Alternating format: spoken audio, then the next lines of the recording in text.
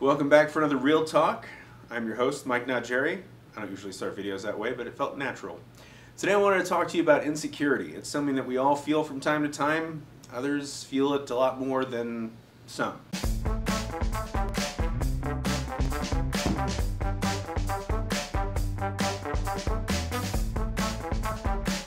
I think it's important that we understand where insecurities are on a spectrum because insecurity is basically, um, well, you think of it as the opposite of arrogance, right? Arrogant people, they, they tell you about how great they are. Insecure people are really not feeling that great about themselves, but it's almost like it's two sides of the same coin. Arrogance really is disguising insecurity. Some people just pretend that they are confident, and that's why it comes across as arrogant. But if you look at it that way, that if insecurity is on this side and arrogance is on this side, what we're both really hoping to strive for is that true confidence in the middle. That's what we're looking for, confidence. And in that confidence, it's important that you understand that to be fully confident, you're not going to be putting others down as you would be if you were arrogant or putting yourself down if you are insecure. You have to find that inner light, for lack of a better word. When I look at the comments on my videos, because I've been doing these for several years now, uh, you know, I think the majority of people that watch them like them. I mean, why continue to watch somebody that you don't enjoy? Uh, but there are people that will put comments in there saying, why are you, you know, you're not Jackie Gleason, you're not funny, stop doing this, stop doing that. They're directing me, they're telling me how I should do my videos. And there's always that feeling of like, well, are they right? That's my insecurities kicking in. But at the end of the day, I continue to do what I do because I I feel like that's me. That's that's that's who I am. I I am somebody that goes on YouTube. I follow people, and I follow people because they're real. They're or at least they're projecting themselves real enough that I believe it, right? And I think and I feel connected to them because I relate to them. They're relatable.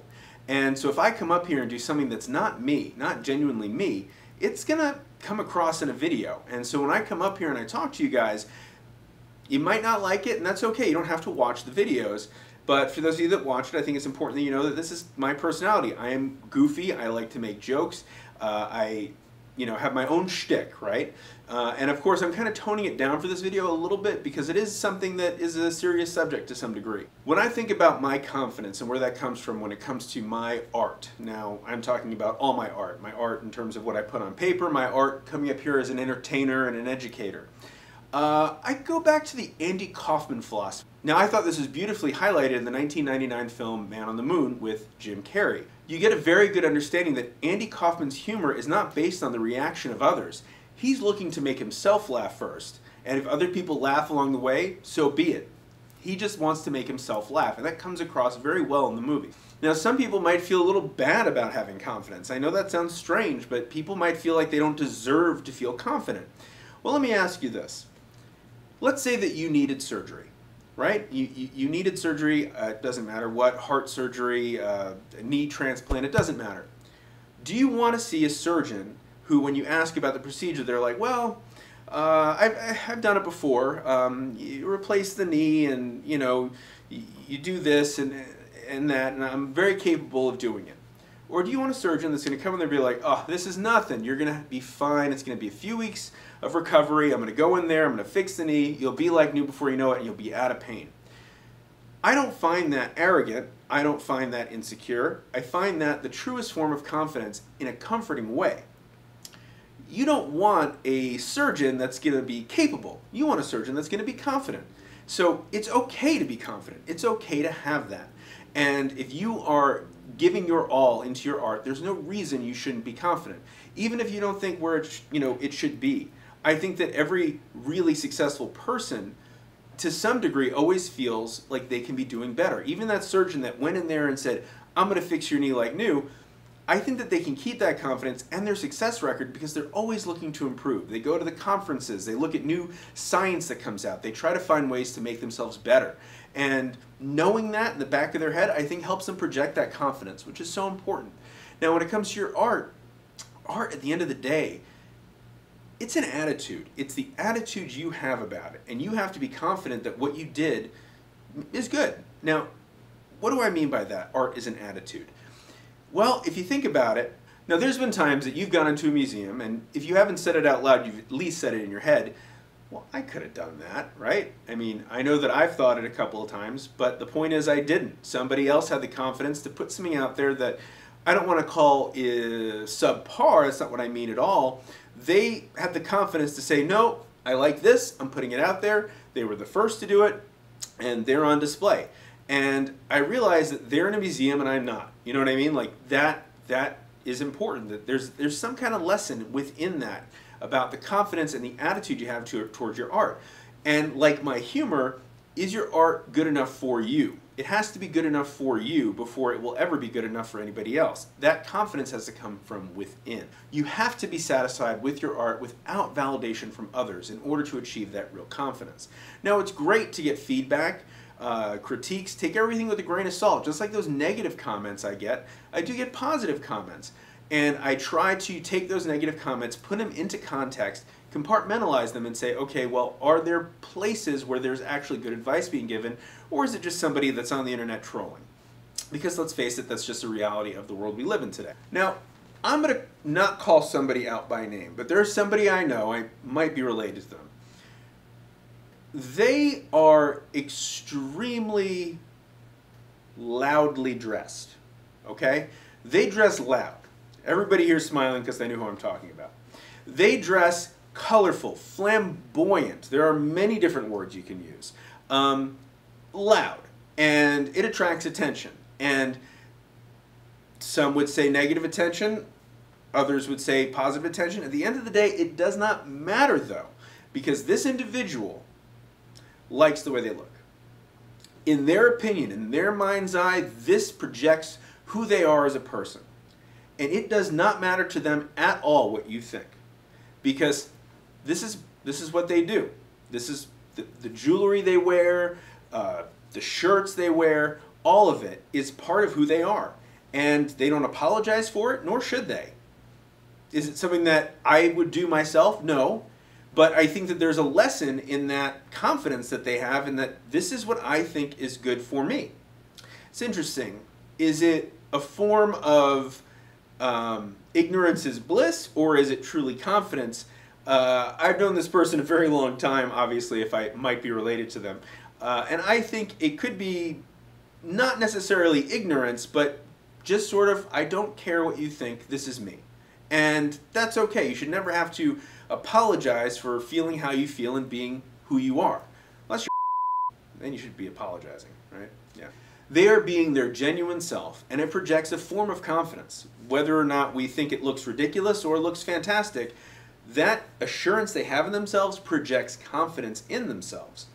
And that's an interesting thing in there. So, so what's something that we can do? I mean, if you, it, it's not something you can just kind of like turn a switch on and stuff. I think that the biggest thing that artists um, that are especially starting out sort of struggle with, with that insecurity, is in the marks, okay? It's important that every mark you make, whether it's with a brush, a pencil, God forbid a pastel, I don't like them, but that's just my opinion, uh, because I don't like being dirty because of my obsessive compulsive disorder. Um, every mark you make needs to come from a place of confidence. Take a deep breath, and then you're going to go and you're going to make that mark, that one mark. And if you're hesitant, if you're tentative, if you have this inkling of like, oh, I don't know, it's going to show up in the mark. It really will. A few, uh, I guess at this point, maybe years ago, I posted a video with a piece of artwork that I said that I bought. And I said, look at the confident marks. And then I revealed that it was actually done by my, at the time, two or three year old daughter. The point is, is that that two or three year old, there's no hesitation. They're not concerned about anything but the marks they're making. And it shows. It shows at that young age that that is a confident, bold mark and there's no hesitation. There's no little, uh, okay, you know, you can see it. So if you are struggling with making those confident marks, then start small. Start swatching your paints out again. Go back to something that brings you comfort, okay? Brings you back to that safe space because we grow when we're not feeling safe. So before we're willing to take that step to the we're going to be strong, we're going to be brave. Sometimes it helps to kind of reel it in and go back to something familiar. You don't have to just, you know, jump into the deep end, but find a way to get yourself comfortable, calm. You don't want to be doing art necessarily when you're shot out of a cannon. You don't want to do anything necessarily when you're feeling really, really high or really, really low. The saying is don't make promises when you're happy, don't make decisions when you're angry. So, with that being said, you're looking for that plateau, that state of Zen, that calm.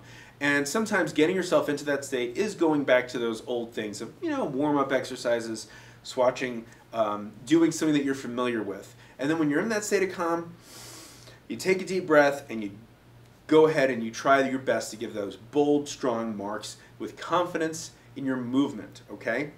And understand that if it looks good to you, it doesn't matter what it looks like to anybody else. It has to look good to you first.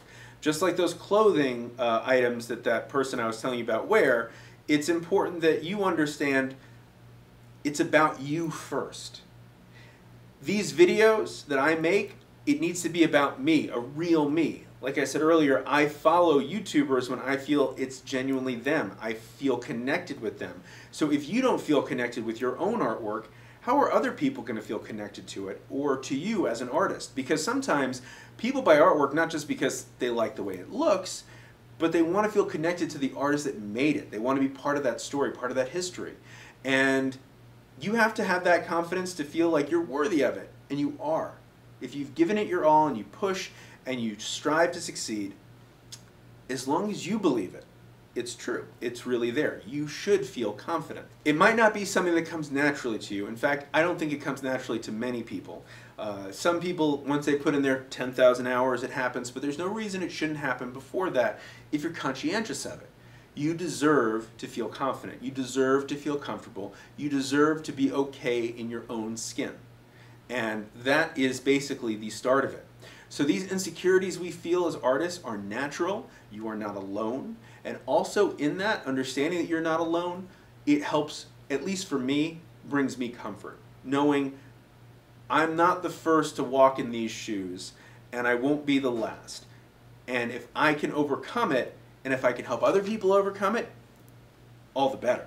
So when I say these little comfort things you can do to help get yourself to that plateau where you're not uh, super happy, super sad, you're just in that kind of state of zen, like I said, swatch your paints, do something that brings you comfort, doodle, go to that like throwaway journal that we talked about in some of the earlier videos. And if you uh, haven't seen that, maybe maybe we'll link to that at the end of this, uh, the throwaway journal, which is a video I did a very long time ago, but I've mentioned it in more recent videos.